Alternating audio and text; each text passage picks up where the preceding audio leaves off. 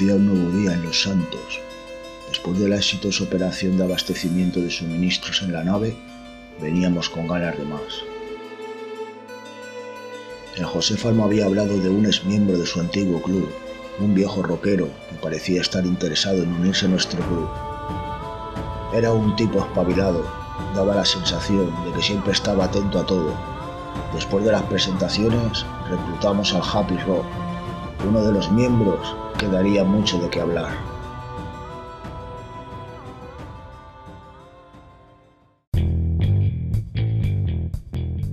Nuestro siguiente paso sería hacer ruido.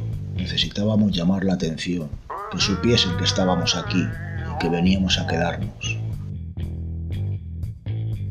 Planeamos los pasos para acabar con el actual club de los Los, que dominaba y dirigía la venta de los bollicaos en Los Santos. Sabíamos que ellos eran un eslabón débil en la cadena, pero si descubríamos al pez gordo, podíamos acabar con él, lo que nos daría la vía libre para la distribución y el prestigio que nos merecíamos. Happy Rock conocía la ubicación de la sede de los Lobs y esa sería nuestra primera misión. Les robaríamos la mercancía y acabaríamos con su club, imponiéndonos como el club que a partir de ese momento controlaría los negocios en Los Santos. El Josefa se encargaría de pinchar el teléfono del presidente de los Nos y su misión principal era descubrir al Chocoleto, el pez gordo que había controlado el mercado de los bollicaos en los últimos 10 años. Seguro que después de robarle su mercancía, se comunicaría con él para informarle del asalto. Una vez que todos sabían lo que tenían que hacer, salimos en busca de los Los.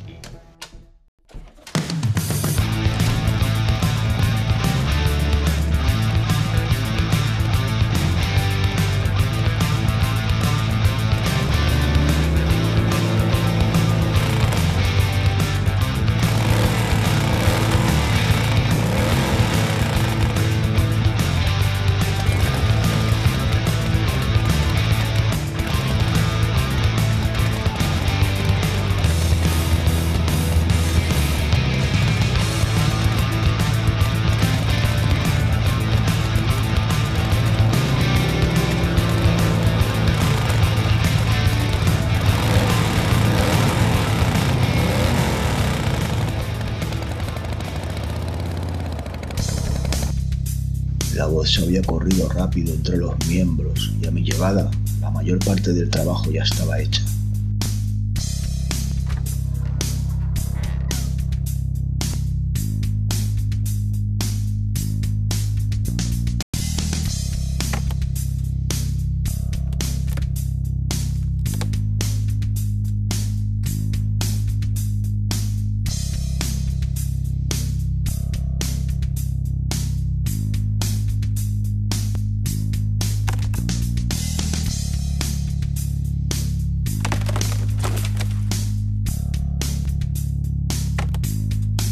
Después de que el Sasuke no pudiese hacerse con la combinación de la caja, el Josefa se encargó de abrirla con su oído fino y certero.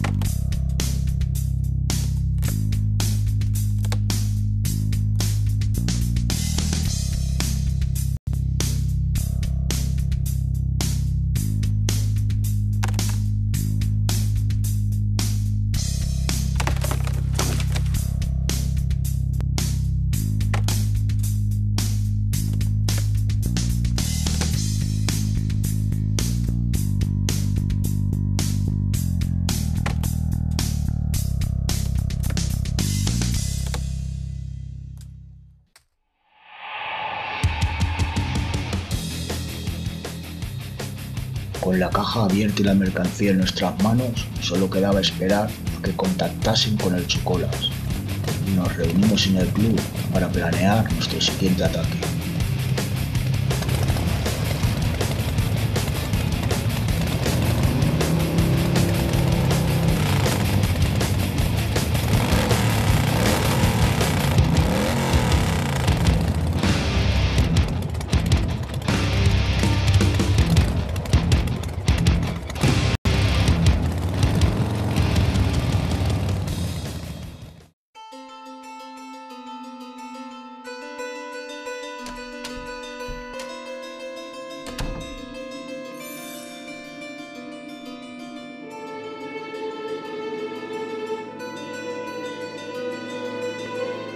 Manuela me informó de que el Josefa había conseguido el contacto y que varios de los chicos ya estaban controlando la finca en la que residía el Chocolas. Nuestro siguiente paso sería acabar con él sin dejar a nadie con vida.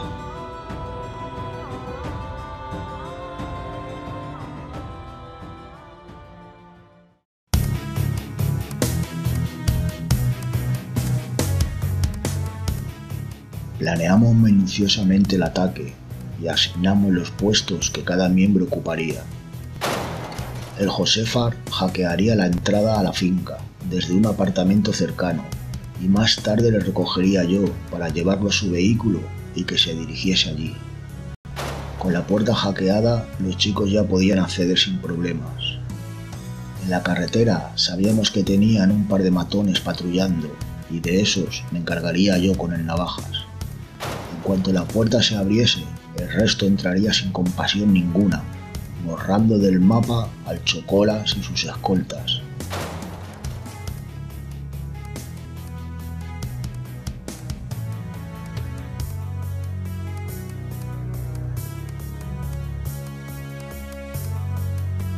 Con todas las instrucciones listas, avisamos al resto de los chicos y nos dirigimos hacia el lugar.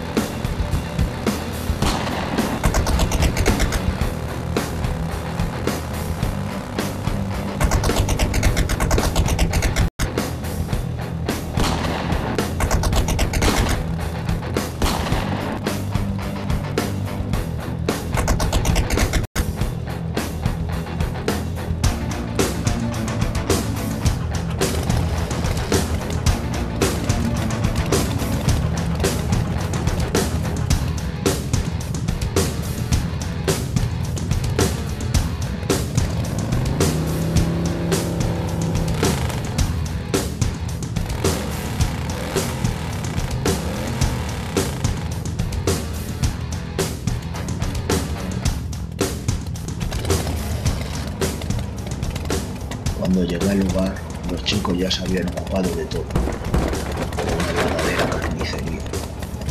Pero solo había una forma de hacernos respetar, y esa era a fuego y sangre.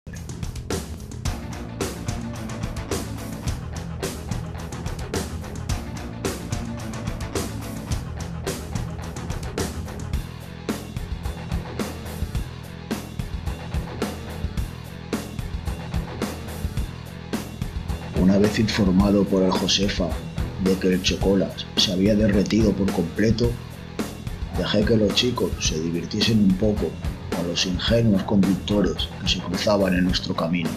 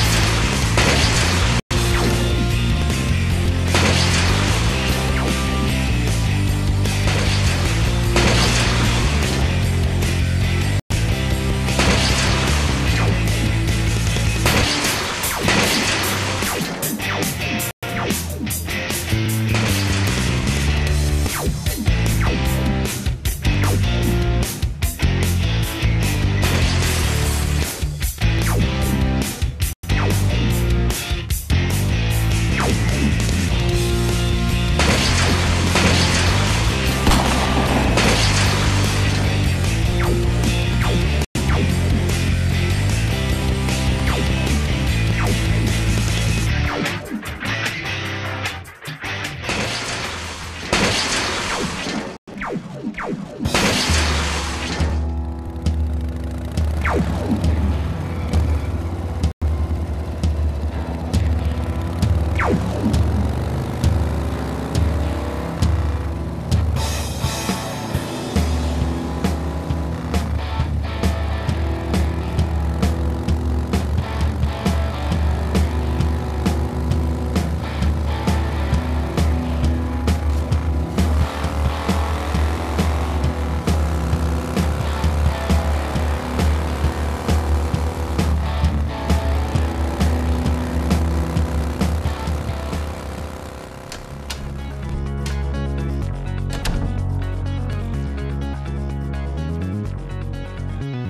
en el club, la alegría se notaba entre los chicos. Todo había salido como lo teníamos planeado.